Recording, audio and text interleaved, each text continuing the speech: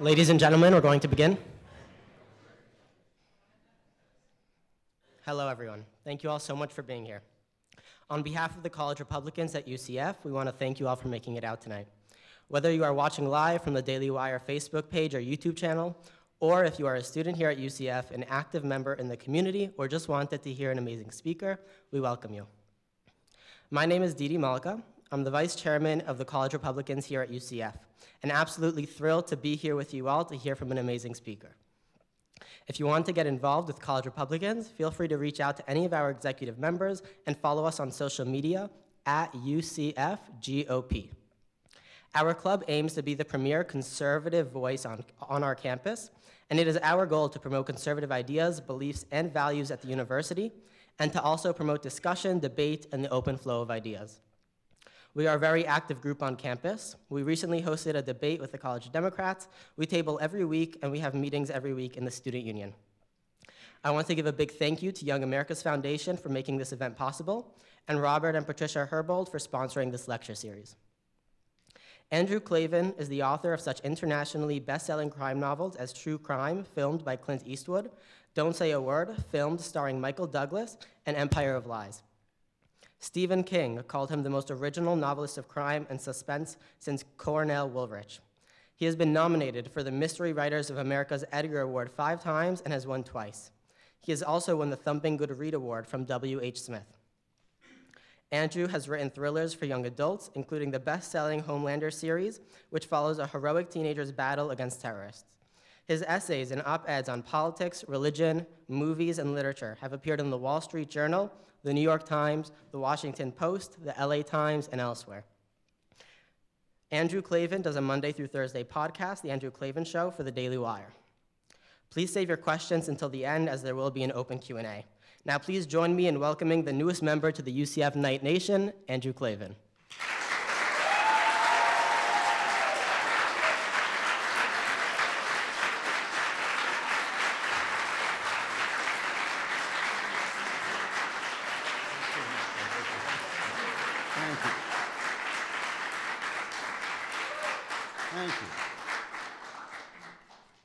appreciate that. Thank you to the college Republicans and to YAF, and I, I appreciate the welcome. I heard they were tearing my picture down and writing "OK Boomer" across my. I wanted, I wanted to find the guy and write "Get off my lawn" back. I told, I, true. I told my wife, you know, I said these kids don't seem to be able to resist writing on my forehead, and she, and she said, I know. I always want to do that too. So. So now I have to sleep with one eye open. Uh, my policy is I, I try to talk as briefly as possible because I really want to talk to you. I want to answer questions. Um, I want to hear what, what you're thinking about. Uh, I don't care uh, whether you're far left or alt-right. Uh, I'm not going to be calling you names. I'm not going to be shaking my fist at you. I really want to hear what you have to say. Uh, my friend Shapiro has a a policy that he asks people who disagree with him to come down first, but uh, unlike Shapiro's speeches, my speeches are guaranteed 100% correct. so, so my advice is if you disagree with me, you should just sit quietly and try to figure out where you went wrong. Uh, I, I called this uh, the speech "The Art of Being Free." I, I think this is the uh, last speech I'm going to give this year. I don't like to travel really after the holidays start. I like to be with my family. And I, I there really was something I wanted to say. I've been traveling around all year, and I've seen a lot of uh, campuses, and I wanted to talk to you about some of the stuff that really disturbed me, um, and some of the stuff that I think is, is actually kind of dangerous, uh, that worries me. Because you are, right this minute, uh, the freest, richest, healthiest human beings who have ever existed on planet Earth. Uh, you're probably going to live longer than anyone ever has. The poorest person in this room can walk into the cheapest mini mart and buy food that would have been the envy of the emperor of Rome. You have the library of the world in your pocket. Uh, Aristotle and William Shakespeare would have ripped off their arm to have the phone that you guys have. You may run into some racism in your life, but probably not much. Uh, if you're a, a lady, you're probably going to have more choices than any woman on earth has ever had. The economy's good. We're not in any major wars. You wouldn't know it to watch the news, but actually, this is a great moment, and you lucky guys are actually living in it. And at the same time, the suicide rate in America climbed 33% over the last 20 years. Over the last 10 years, the suicide rate among young people, people 10 to 24, your age group, climbed 56%, 56% in 10 years. So many people are killing themselves that the life expectancy in America is going down in spite of the fact that we've got all these new medications and these new procedures. It really is if, I mean, in the Bible, God says to the people, I've put before you life and death, choose life. It's as if in this country we've had life put in front of us as it's never been put in front of anybody before, and we're choosing death. And even the young people I meet who aren't in despair don't seem all that happy to me, you know. Uh, on the right, we make fun of what we call snowflakes, the leftist snowflakes. They show up and they're always getting triggered and they need their safe spaces and everybody's hateful. And I was in Boston, at Boston College uh, just a few weeks ago. There was a near riot for me, one of the nicest people I know. and we laugh at that, but it's not really that funny, you know? It's, I mean, these are young, strong, healthy American men and women. Who told them that they couldn't listen to ideas they disagreed with? Who told them that they were so fragile that they were going to be traumatized if anybody said something they didn't like? Who told them? And my question is why did they tell them? What do they want? What are they after? I've talked this year and the last year to a lot of conservative students who are afraid to speak their minds.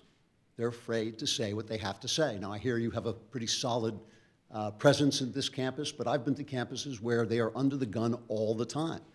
They're afraid to even write in an essay in class what they think because they're afraid their teacher will mark them down. They're afraid of getting ratioed, afraid of getting canceled. And I think to myself, a professor is supposed to be teaching you how to think. Not just how to think, but how to speak your mind, how to act with integrity and talk with integrity, how to be bold in your beliefs and open to new ideas. And they're teaching you the exact opposite. They're teaching so many of these students the exact opposite, teaching them to lie, to hide, to be afraid. Why are they doing that? What do they want? Now, recently at some of our events, uh, the conservative events, there have been people who now call themselves uh, America First Nationalists, or sometimes they call them the alt right or Groypers, uh, which is a very unpleasant word, Groyper. Um, and, and you know, I, I, think some conservatives have overreacted to this. They get angry, they're afraid of being tarred with the same brush or being linked to them. And I don't feel that way. I, but I have read some of the material of their leaders, uh, some of the stuff they put out. I've watched some of their YouTube videos, and there is a strain of, of real hatred in it, of real racial hatred. They deny it, but it's in the materials uh, anti Semitism, a, a, kind of attack on, on gays that's not a philosophical attack, not philosophically thinking homosexuality is immoral, but an actual personal dislike. And I look at them too, and I think, Shouldn't you look at people with a little suspicion who sell you that? Who tell you to hate your neighbor, who say in the name of Christ you're supposed to be hating your neighbor, who tell you to be angry at people because of the color of their skin or their religion? What do they want? I mean, don't you ever want to ask yourself, why are they telling me to feel that way? What are they after? One of the West's founding stories is a story about Socrates, which I hope some of you know. Uh, Socrates' friend went to the oracle at Delphi and asked if Socrates was the wisest man. And the oracle said, There's no man wiser than Socrates. And Socrates heard that and said, That can't be true because I know that I don't know anything. And so Socrates started going around Athens talking to all the experts, the politicians and the poets and the people who made things, trying to prove the oracle wrong. And what he found is each of these people thought they knew a lot, but they really didn't know anything. And Socrates realized he was the wisest man because he knew he knew nothing. And that's one of the founding stories of our civilization. And it's a story about humility. It's a story about approaching the truth slowly and maybe not jumping to conclusions. And yet, all the, on all these college campuses I go to, everyone is absolutely certain about things that no one knows. There is no science, there is zero science that says we're going to die from climate change in 12 years. None.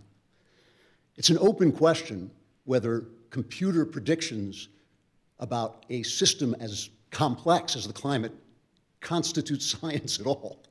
I'm not sure that's a science at all. And yet, they put out a Green New Deal, which is guaranteed to devastate the economy and destroy every freedom you have without any guarantee that it's going to make one scintilla of difference to the future of the climate, and people march off to follow it like it's the second coming.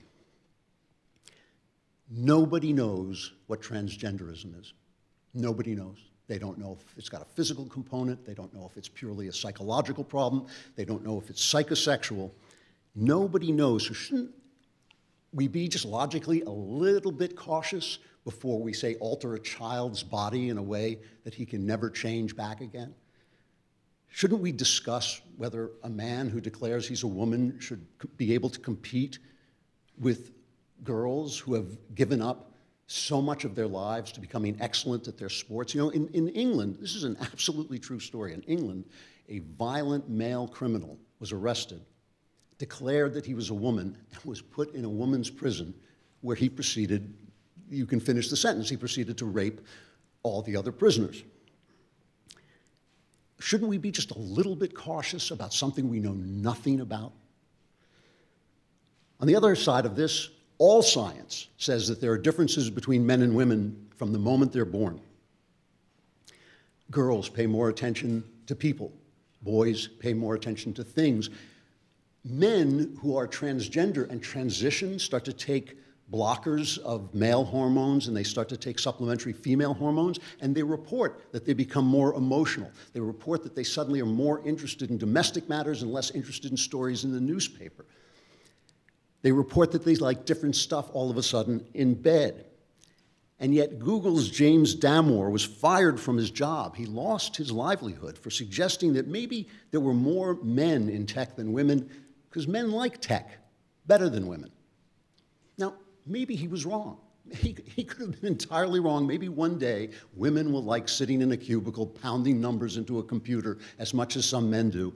I doubt it, but maybe they will. You know, but do you fire a guy for that? Really? Really? Are you so certain that he's wrong that you take away his paycheck and the way he makes a living? You know, the differences between men and women are the inspiration of every song ever written most of the stories ever told, and for a huge majority of us, they are one of the prime sources and consolation, prime sources of joy and consolations for a tragic life. Who told us that we were supposed to hate each other about this? Who told us that this was a problem? Again, one of the prime sources of joy. Why, how did we get to the point where we're yelling at each other? I told you I was I had a near riot at Boston College, and the reason was they published a newspaper uh, story about me just before I got there saying I was Islamophobic. A category of people I believe doesn't exist. Nobody is phobic about Islamic people. I mean, phobic means an irrational fear. Nobody woke up one day irrationally fearing, you know, I don't know why, I suddenly just have this weird irrational fear of Islam. No, I have asked serious questions and I've asked comical questions about the philosophy of Islam, wondering if some of the ideas in Islam have contributed to the violence that is endemic in the Islamic world. Islam is involved in almost every major conflict on earth and has been involved in every major conflict on earth except the Mexican drug wars since the end of the Vietnam War. They're fighting Christians, they're fighting other Muslims, they're fighting Buddhists, Jews, secular people. It could be something about Islam, and it must be the ideas, because it's not a race, right? They're all different races of, Muslim, of Islam. I also question some Christian uh, ideas. I question Catholic ideas about sexuality and whether they may be contributed to the scandal in the church. I, got, I went to speak to an evangelical group, and the newspaper that time said, pro gay speaker coming to, to speak, because I've questioned ideas about homosexuality my, from my fellow Christians. Am I Christian phobic? No.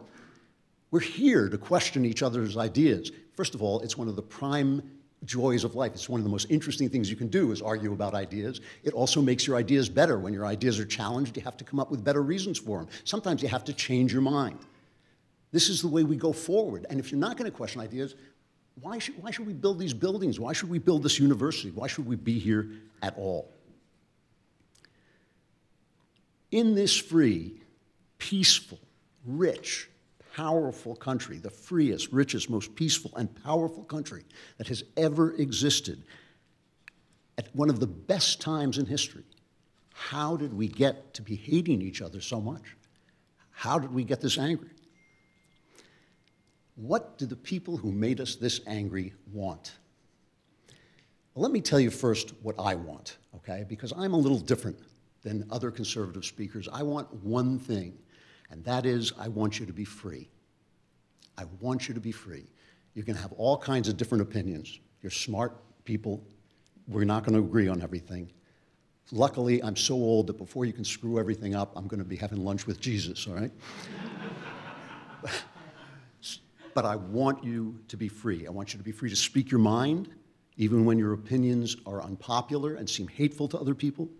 I want you to be free to choose your path in life, even if somebody else thinks it's wrong. I want you to be free to decide how you spend your own money. This is a big part of freedom, how to spend your own money.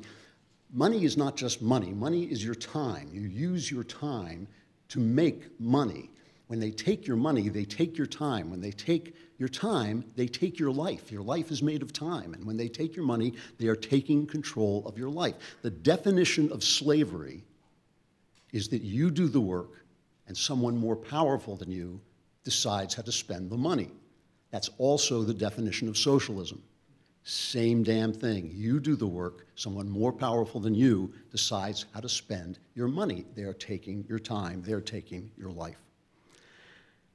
I want you to be enthusiastic, eager participants in this unique American exper experiment in limited government and personal liberty. And so, I want to be honest with you when I tell you that the freedom, the kind of freedom I'm talking about, is not easy, it's hard. Everything good, as you must know already in life, is hard. Love is hard. Peace is hard. Wealth is hard. Staying in shape is hard. It's all hard. You have to work at it. Now, one hard thing about freedom, and this, this is one thing that drives almost everybody crazy about it, including me, is that in order for you to be free, you have to allow other people to be free. I hate that. you can't be free by stepping on another guy's throat because one day somebody's going to come along who's bigger than you to step on your throat. It's that simple, right? You have to have a system, an agreement that everybody is going to be free. That has to be in place. If you want to speak your mind, you have to let other people speak. You can't define somebody else's ideas as hate speech because eventually the bigger guy is going to come along and define your ideas as hate speech. There's only free speech and speech governed by the powerful. Those are the only two kinds of speech there are, okay? Free speech and speech that's run by the powerful because the weak people can't decide what hate speech is. If you want to go to your way, other people have to go their way. You're gay and you want to get married, go ahead. But if somebody doesn't want to cater your wedding, you got to leave them be, even if it hurts your feelings. Freedom is hard on the feelings. Another way freedom is hard is that it's very unsafe, it's risky, it's frightening. It entails taking responsibility for yourself and paying your own way. If you can't decide how other people spend your money, you can't take their money to spend it on what you want to spend it on.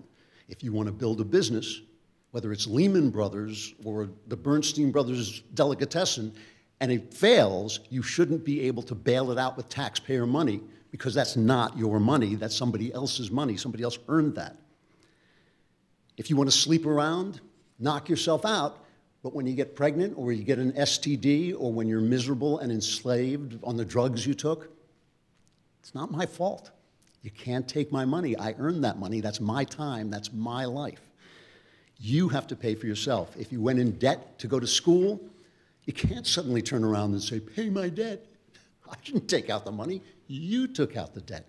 It's dangerous. Every time that Elizabeth Warren or Bernie Sanders says, you know, I happen to believe that everybody should have free health care, right?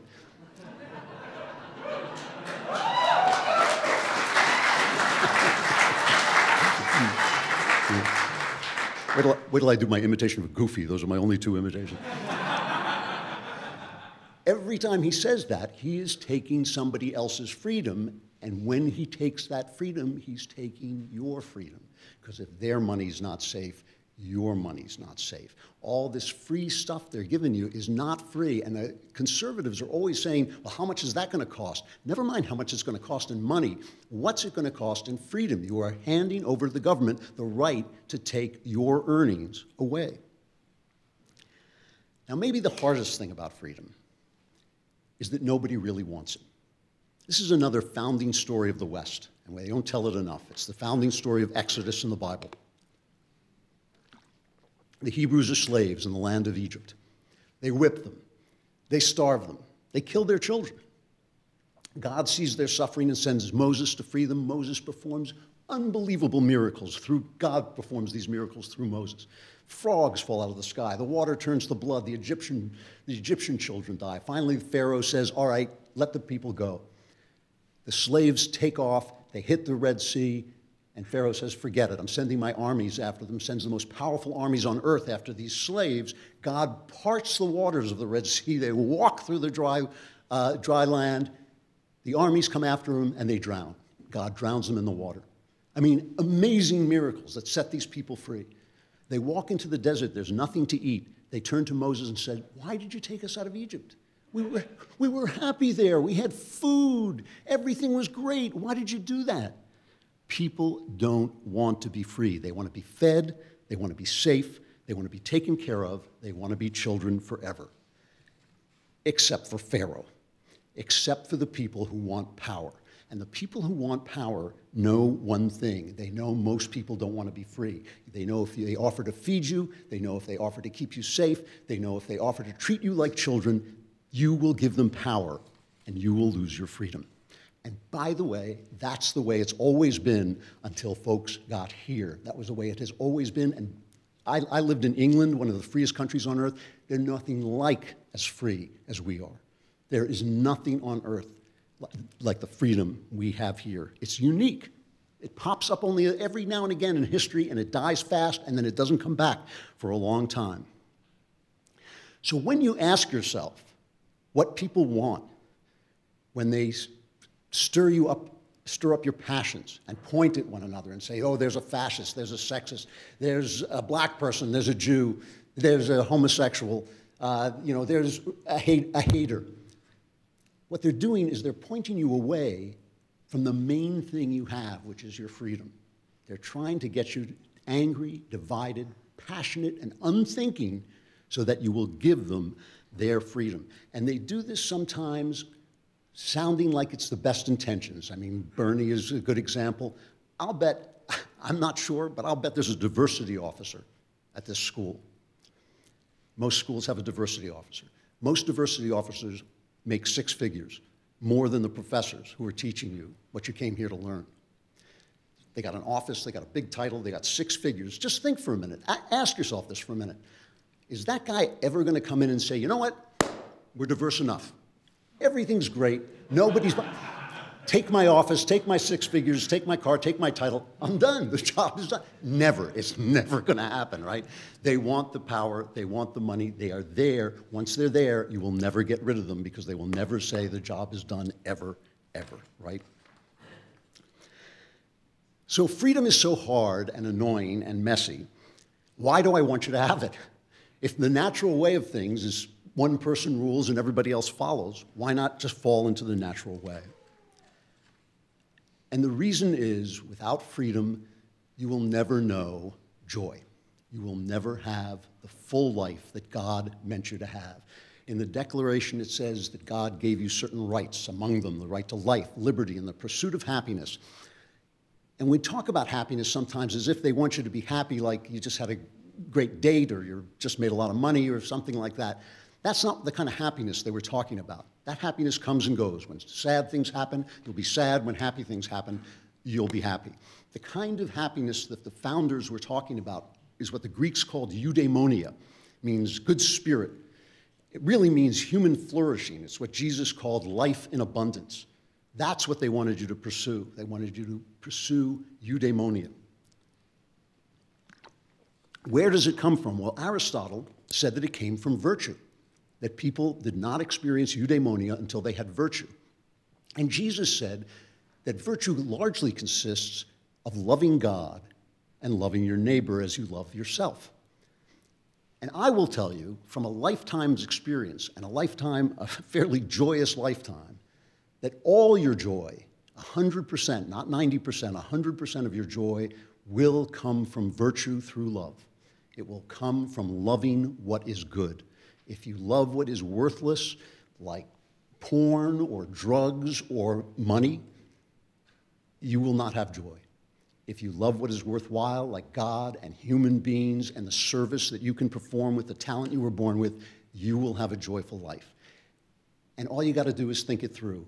You can't have love if you're not free. If you're not free to choose your love, it's not love at the point of a sword. You can't have virtue at the point of the sword. You have to be able to choose it. It's not charity when Elizabeth Warren takes this guy's money and gives it to this guy. It's charity when you reach into your pocket and say, I would have liked to go to the movies, but here's five bucks. Go buy yourself a burger. That's charity. That hurts. That's hard. Everything else is just degrading.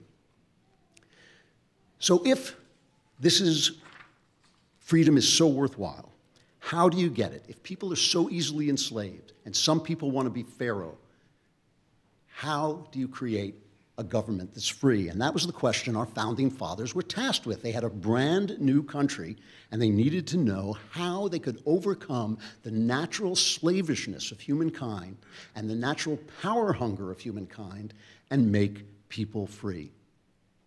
Well, obviously, the easy part is the government has to be limited, right? You have to limit the government. They wrote a constitution with what they call enumerated powers. If it ain't in the Constitution, they're not supposed to be able to do it. The federal government is not supposed to be able to do what is not in the Constitution. It's been a long time since we've treated the Constitution like that, but that's the way it's supposed to work.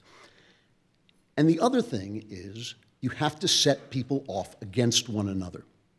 You have to make it so that whenever somebody has power, somebody else has power that he doesn't want to give to that guy. They want people to fight one another for the power. The legislature fighting the presidency, president, the president being uh, hemmed in by the law.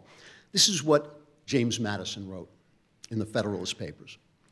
He said, if men were angels, no government would be necessary. If angels were to govern men, neither external nor internal controls on government would be necessary. In framing a government which is to be administered by men over men, the great difficulty lies in this. You must first enable the government to control the governed, and in the next place, oblige it to control itself. A dependence on the people is no doubt the primary control on the government, democracy, but experience has taught mankind the necessity of auxiliary precautions. The government they built is a great big machine for keeping us off each other's backs. That's what it is. And that system is your inheritance. The centers of power that conflict with other centers, the systems that keep things in place. I mean, this is one of my great beefs with the left, is that whenever they don't get what they want, they want to break the system. They lose an election, they want to get rid of the Electoral College. They lose the majority in the Supreme Court, they want to pack the court. They lose the argument, they want to silence us. They want to shut us down and declare anything that disagrees with them hate speech. This government is your inheritance, is what they are trying to distract you from when they try and get you to hate one another. Because it depends on us essentially loving one another. It depends on us being willing to let each other be free. And it depends on us being willing to lose when the system says we lose, which is really tough. I'll, I'll finish up. I want to finish up because I want to, yeah, I want to uh, talk to you. But let me just point out two Supreme Court cases. One is Roe v. Wade and the ones that followed that declared abortion a constitutional right, and the other is Obergefell, which made uh, gay marriage a constitutional right. I have two completely different attitudes about these two decisions, the results of these decisions, but I hate both of them. Abortion to me is just, you can't make an excuse for it. Baby is not your body, it's not your choice, it's a new person, you're the mom, you can't kill it.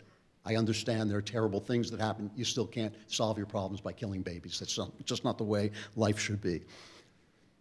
Gay marriage, you know, at this point, I'd rather have gay people in committed, loving relationships than in bathhouses catching and spreading diseases. I mean, that's basically the way it goes. So both of these decisions uh, give me a, a, different feeling in terms of their result, but I hate both of them because not, in neither of them does the government do what the Constitution says it is allowed to do. There is no constitutional right to an abortion. There is no constitutional right to gay marriage. They made it up.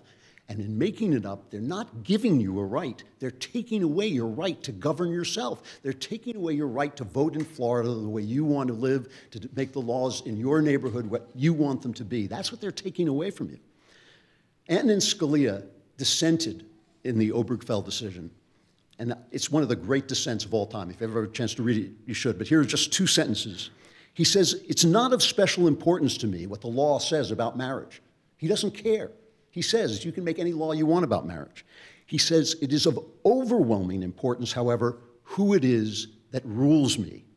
Today's decree says that my ruler and the ruler of 320 million Americans coast to coast is a majority of the nine lawyers on the Supreme Court. The process is your freedom. The process has to be defended. You know, the art of being free is really the art of life. It's the art of being humble, knowing how little you know so that you listen to other people and let them live the way they want to live. It's the art of forgiveness, of being slow to judge. It's the art of being grateful for the things that have been handed down to you and being careful not to destroy them and holding on to them even when people try to stir up your passions so that you throw them carelessly away. You guys are going into a new world that I am not going to get to see. You're going to have machine parts put into your brain so that your IQs are higher than they've ever been. You may go to other planets. You may be part human, part machine. I don't know what it's going to be. And all along, every step of the way, there's going to be someone to tell you that the process is old fashioned, that the Constitution is out of date, that the world is too complicated for you to make decisions about it. You need to hand it over to the experts, to the bureaucrats, to the agencies. And this is what I want to tell you, and then I'll be done no matter what happens, no matter what new things come along, the old truths are going to remain exactly the same. Do unto others as you would have them do unto you. Judge not, lest you be judged. Love your neighbor as yourself. All your joy is going to be found in love and virtue, and there is no true love, and there is no true virtue unless you're free to choose them. Thank you very much, and I'd love to hear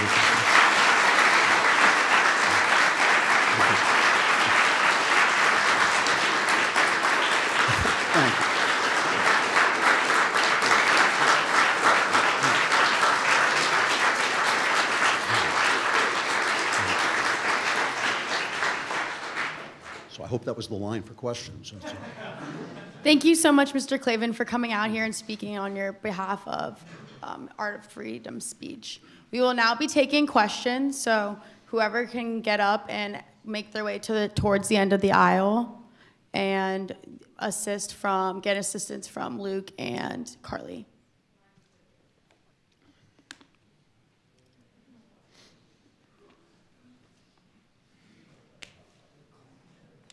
If you disagree with Drew, you can come across to the beginning of the. If you disagree aisle. with me, get out. Don't listen. to me. Yeah. he wants to speak first.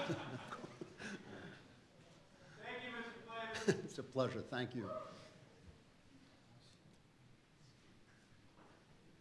All right. Good evening, Mr. Klavan. Thank you for coming out today. I have one question for you. So, if you had 60 seconds to talk to your 18-year-old self and give him one piece of advice, what would that be? Oh man, my 18 year old self was so messed up.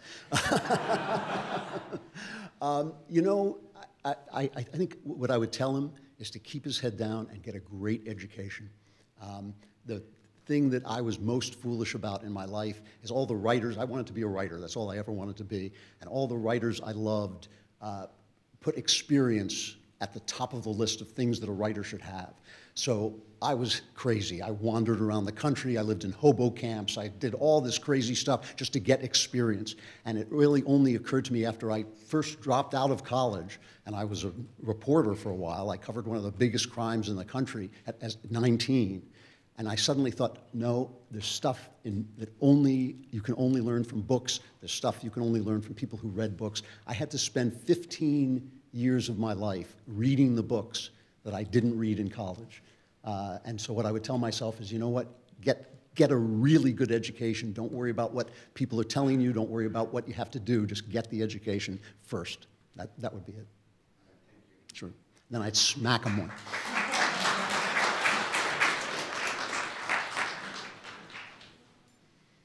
Hi, Mr. Klavan. Uh, first, I just want to thank you for coming out tonight. Uh, I appreciate it. Um, I myself am a journalism major here at UCF, and uh, something that I aspire to do throughout my career is kind of shine light to a lot of the media bias and media corruption that's going on. Uh, there's a lot of examples like Jeff Zucker at CNN right now and ABC's cover up of Epstein and everything.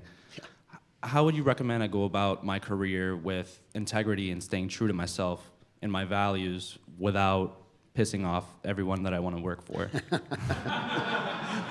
Well, first of all, the corruption at the, main, in the, at the mainstream news level, at the level of uh, the networks, is so extreme that I don't know if you can actually do that at that level. Uh, you know, the ABC not only killed the Epstein story. I mean, remember, the, Bill Clinton traveled around with Epstein. The Epstein story was killed when Hillary Clinton was running for president. George Stephanopoulos, who helped Bill Clinton shut up the women who were accusing him, is now the chief newsman at ABC. We don't know if he had anything to do with killing, but that's how corrupt they are. CBS then fired somebody for ABC who they thought might have released the information. Not, not, they're not investigating uh, Epstein at ABC, they're investigating who released the information that they killed the story. That, that is incredible corruption, and it's obviously corruption that's deeply connected to the Democrat Party. So the good news is that obviously, with all this uh, new technology, new venues have sprung up. I mean, look, the, the Daily Wire, that, that's four years. Four years, it became one of the biggest sites in the world. Uh, and uh, that's an amazing journey. I mean, four years ago, we were in Jeremy's pool house, me and Ben, at a card table doing 15 minute podcasts, and now the place is a TV studio. It's really fast. So there's plenty of venues that will let you say what you have to say. The great need in journalism, as far as I'm concerned, is for actual information. There's plenty of uh, opinion, opinion work, and that's the easiest work probably to get. But there are very few good reporters out there. There are very few people on the scene, very few people who go through, do this stuff you have to do where you go through documents, because that, that is expensive. If you can become good at that, you become priceless, you know? And somebody like Sharyl Attkisson, who was fired from CBS for running, uh, she's a great uh, investigative reporter, she was fired for running bad stories about Obama, even though she had run bad stories about Bush, but she, was, she lost her job for that. You know, she, she now has her, basically her own little network because she is somebody who knows how to get a story. So that's what I would say. It's, it's the same thing I tell writers, learn the craft, learn the craft of journalism. Everybody has an opinion, but if you can go out and get the news, you'll get work.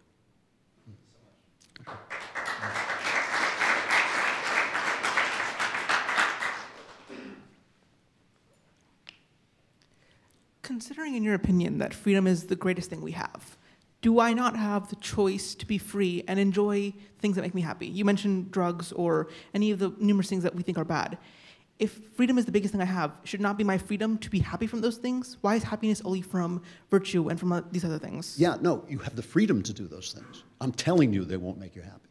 I'm telling you that, you know, there are plenty of things in life that make you happy in the moment, you know? I mean, cheating on your spouse is fun when you do it.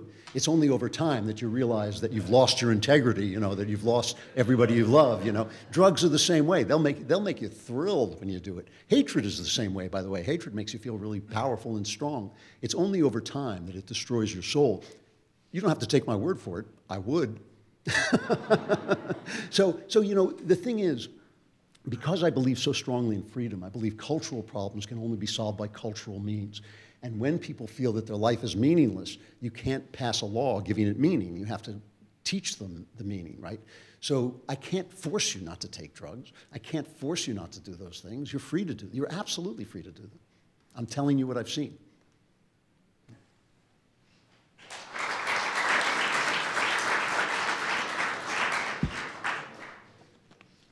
Uh, since 2016, um, the MCAT has added a psychology and sociology section.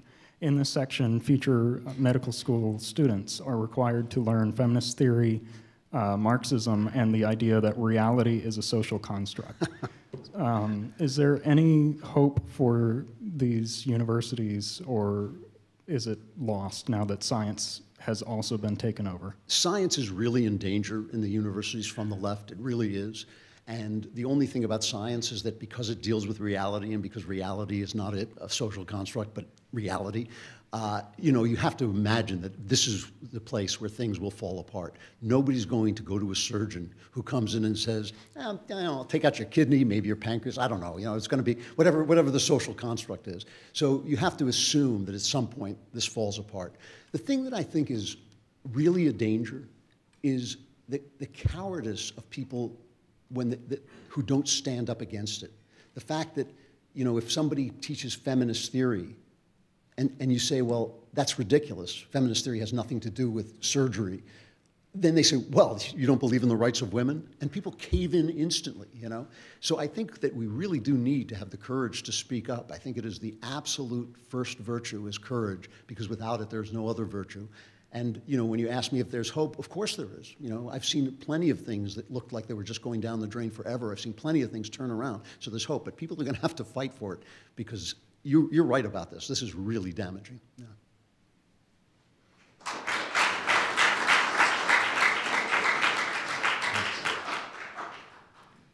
Hi, Mr. Klavan. Um, Big Vinegar podcast and your other works, especially Empire of Lies. Uh, my question is, uh, is if you've, as a High Church Anglican, have you ever heard of the personal ordinariate of the Chair of St. Peter? That's the uh, Catholic Church's uh, structure for former Anglicans and Episcopalians, uh, started by Pope Benedict in 2012. Uh, their liturgy is it's approved by the Catholic Church, and it's based on the more traditional Rite One of the 79 Book of Common Prayer. Um, there's a parish uh, here in Orlando that does that, about 20 miles away, and there's also uh, three in near Los Angeles. And uh, wondering if you have any thoughts on that, and if you would ever consider attending such a place. You know, um, I, have only heard of that, and I don't know anything about it, so I can't speak at length about it. I've been so alienated from the uh, Episcopal Church because of its radicalization. Uh, it's become incredibly political, and you really can't do. I actually attended a service where an Easter service, so help me, I'm not making this up, where the priest got up and said, Jesus died for the little transgender boy who can't use the girls' bathroom because of our binary attitudes towards sex. And I thought, you know, okay, just show me the verse, you know, just show, you know, and I'm, because I'll believe anything I read in Scripture, man, you know, just show me the verse. So I, I left the Episcopal Church. Recently, I've been going to a, a, a nice Presbyterian church where I, uh, where I feel comfortable with what the guy is saying. He's just preaching the gospel, which is what I want to hear. Um, my, even though I love the Catholic liturgy, I truly do love the Catholic liturgy, and my, the Nicene Creed is basically my faith. My first priority is my relationship with Christ, and anywhere I feel that I'm improving that, I'll, I'll be there. And so I'm not somebody who gets overly tied up in doctrine because I feel that there are various doctrines uh, that will get you into relationship with Christ, and that's what I feel is important.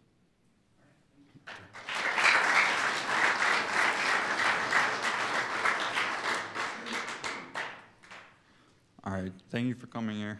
Um, the Minnesota Twins adoption study conducted by Professor Thomas Bouchard shows that twins that grow up in completely separate environments often take up the same professions and hobbies, have similar personalities, and have even experienced similar psychotic episodes.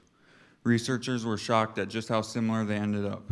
Studies like these and others show genetics play a substantive role in individual and group traits and personalities.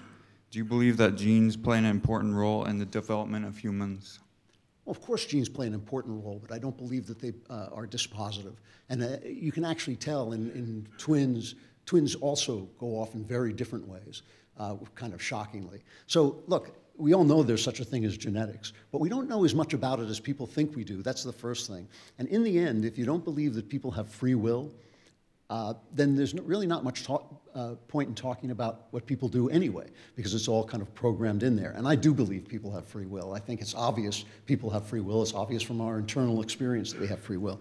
So I, I wouldn't dismiss I wouldn't dismiss genes, I always find myself talking about genetics with people who've never really studied genetics, and I think that I think that um, we know a lot less than we think we do. Go ahead. Um, do you believe that the West is more successful than a, a continent like Africa because we have more freedom, or do you think it's because of different reasons? Oh, I, uh, you know, I think, see, th- this is where my goofy imitation comes in. Because, because really, the, the material that goes into a civilization is so vast, so diverse, comes from so many different places, that to peg it on genetics or skin color or, or race is goofy level thinking. I mean, even goofy wouldn't fall for that. The complexity is so great. And the way you know, here's how you know this. Here's how you know it, okay? In Britain, it was the Irish who were the bad guys, the dumb guys, the guys who couldn't accomplish anything. The Irish came to America and were very successful. In uh, Russia, it were the Jews who were the criminal class. The Jews, came, they were such a criminal class that when the Russian Jews came to Germany, the German Jews didn't want to know them. But when they came to America, they thrived. It always kills me when people who love Western civilization, as I love Western civilization, I actually think Western civilization and European civilization is so far the pinnacle of human achievement. It had to happen somewhere. I think it, it, it happened there. But what kills me about Western civilization is it was built by the people that the Romans thought were the barbarians. When the Romans talked about building a wall, it was the Europeans they wanted to keep out right? They thought these guys were the worst of the worst. They thought they were absolutely the stupidest people on earth. They went off and built a civilization. This happens all the time. It happens all the time. It is amazing what environment will do, and it is even more amazing what good ideas will do. Good ideas, I, I think it's always about following the ideas. Good ideas can transform anybody. And I think that our civilization, look, so, so much goes into these things that the limitation, uh, that limiting the goodness of a society to one as, uh, angle, one aspect, is just, it's just ridiculous. Chance goes into it, weather goes into it, uh, ideas that come from you don't know where go into it. But always, the one thing we can do is pick between good ideas and bad ideas. And that's, that's I think, our, our only chance to move forward.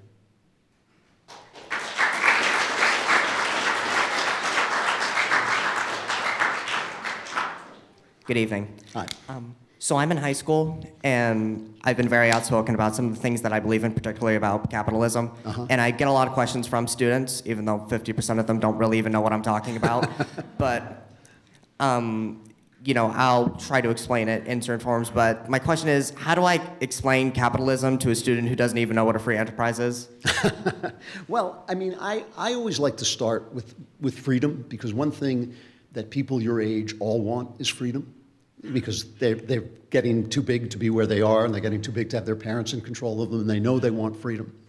So when you explain that your money, you know, money is just a symbol, right? It's just a piece of paper has no value. Its value is in the fact that you earned it, that you gave people something they desire, like an iPhone, and they gave you money in return. This is your life. This is your time that you create. And when people take your money, they take your, your choice away. If, I, if you say to me, I just worked uh, uh, in a store on a construction site for eight hours and they gave me 50 bucks, and I say, great, I'm going to take that 50 bucks because I know how to spend it better than you, right? That's not being free. That's not you being free. I've just taken your whole day away.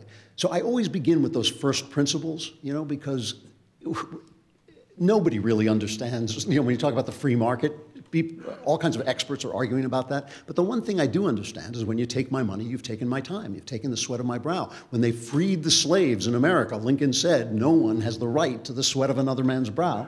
That's what socialism is. So when you start to explain it in those very basic terms, I think people can start to get it.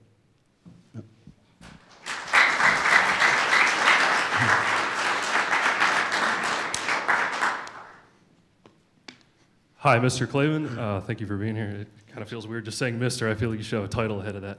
Uh, so I wanted to ask you about an event that happened in March of 2016. A lot of people here may not remember it, and there were a lot of a lot of these college students. They may not have even been old enough to to vote at the time or pay much attention to politics. But uh, in March of, uh, March of 2016, it was during the um, the Republican primaries that there was an event in South Florida where uh, a reporter named Michelle Fields claimed that Corey Lewandowski who was Trump's campaign Yeah. manager, grabbed her by the arm and threw her to the ground. Uh, came out later in video evidence very clearly, security camera footage, there were cameras all over the place, came out she was lying about it. It absolutely did not happen the way that she said it happened. But what was interesting about that moment, and I may not mention, Breitbart reporter, she was a, at Breitbart, um, the Breitbart editor in chief, Ben Shapiro at the time, came out and, and vigorously defended her and, and demanded that, that Breitbart take her story seriously and do more, and, and he quit. He quit almost immediately. And what it looked like to me was she wanted attention, or maybe she hated Donald Trump and wanted to destroy his campaign. But I don't think Ben Shapiro wanted attention. I think Ben Shapiro was looking for an opportunity to destroy Donald Trump's campaign in its infancy. And I wanted to ask you not only that, there's something else that happened this past weekend. You had um, YAF, who's hosting the event here today, Young America's Foundation. They essentially blacklisted and sought to destroy the career of Michelle Malkin simply for uh, supporting nationalism and populism. And with these two, these two associations you have, you have the Daily Wire on one hand, which is Ben Shapiro, you got YAF on the other. I want to know if you believe in guilt by association. All right, well, first of all, there's two, two big questions, and I'm going to answer them both. First, you're just wrong about the Michelle Fields story. You're wrong twice. Fir- First of all, the, the, the video did not show that she was lying. The video was, was confusing and it was a little difficult. I, I know Michelle. I mean, I don't know her that well, but I knew her. It, it looked to me, when I looked at the video, it looked to me like she was being thrown down or at least manhandled. But the thing that you're mostly wrong about is you're wrong about Ben. And the reason I know it is Ben called me before he quit Breitbart, and he was tremendously upset. He didn't want to leave. He was giving up a substantial portion of his income. The idea that he was trying to destroy the campaign of Donald Trump, which hadn't even really gotten taken off at that point, he was, he was really upset that he had to leave. Uh, he, he called me to, to talk to me, to talk it through with me. He felt he had to do it as a matter of integrity. So even if even if his reading of the video is wrong and yours is right, he, he felt he was acting in a moral manner uh, and was making a tremendous personal and financial sacrifice to do it. The Daily Wire had not taken off at that point. So you're just, you're just incorrect about his motives there. I mean, I, and I know it because I was talking to him on the scene at the time. Uh, what, was your, what was the second one about again? Uh, YAF. YAF, okay. Michelle Now, now listen, I, I believe in, in free speech, and everybody's free speech. I don't believe, even if I hate what a guy is saying, I certainly believe, don't believe he should be deplatformed from YouTube unless he's calling for violence, unless, unless you're literally calling for violence. I certainly don't believe you should be uh, kicked off Twitter or any of this stuff. I think it's all garbage. You know, let people talk. I believe in good ideas. I believe good ideas will win. Okay. However, YAF is an organization that subsidizes and arranges people to speak in ways that they agree with or in a range of ways that fit into the big umbrella of conservatism. They felt Michelle Malkin had left that tent and they had the perfect right to not support her and not subsidize her. They're not a pla- YAF is not a platform. YAF is an organization that supports a certain series of ideas. So whether I, you know, I'm not sure what I would have done. Uh, I think they did the right thing because they felt that she had stepped outside of their uh, idea of conservatism. And I got to be honest with you, I feel she did too. I, I mean, I don't know Michelle, but I always respected her. And I was really surprised because I felt that she, in her passion for immigration reform, which is desperately needed, uh, had given a fig leaf, basically, uh, to some very bad ideas. So I felt she was in the wrong. But the question of whether her free speech was violated. It simply wasn't. It simply wasn't. YAF has the right to support the speakers who represent them, and they felt she didn't anymore.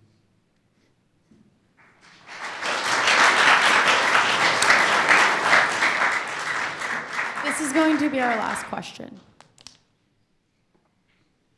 Hi, first of all, big fan. I've written in your show a couple times and you've given me some very meaningful advice. So oh, thank you. That's nice much. to hear. Thanks.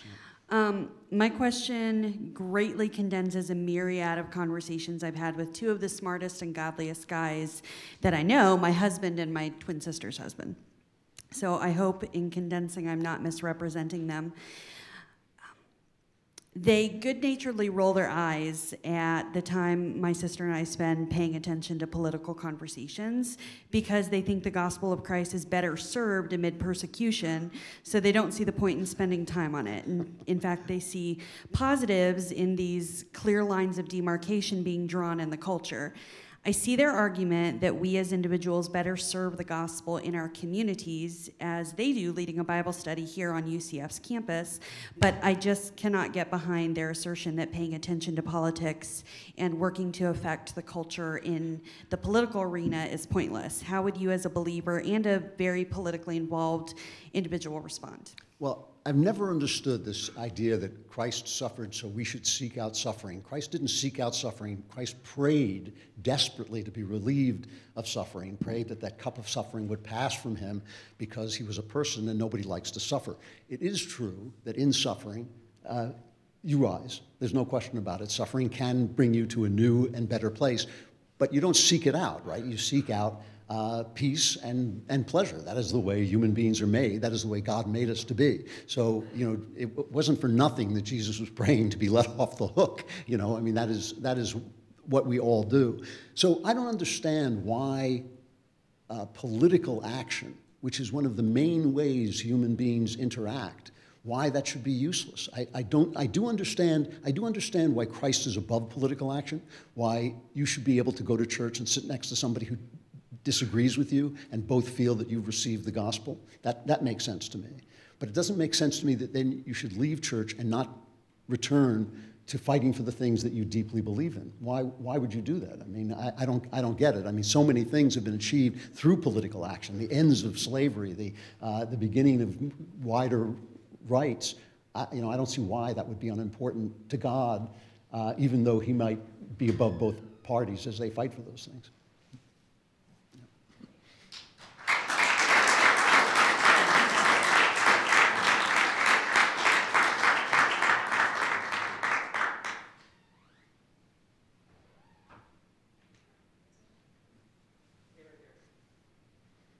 Done?